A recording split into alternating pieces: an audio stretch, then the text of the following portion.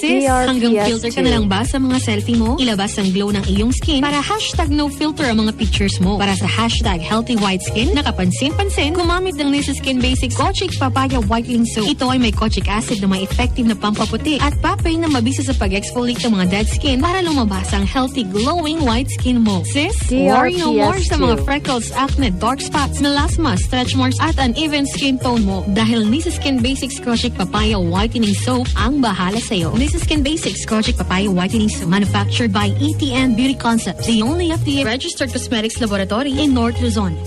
Available at Nisa Skin Clinics and leading supermarkets nationwide.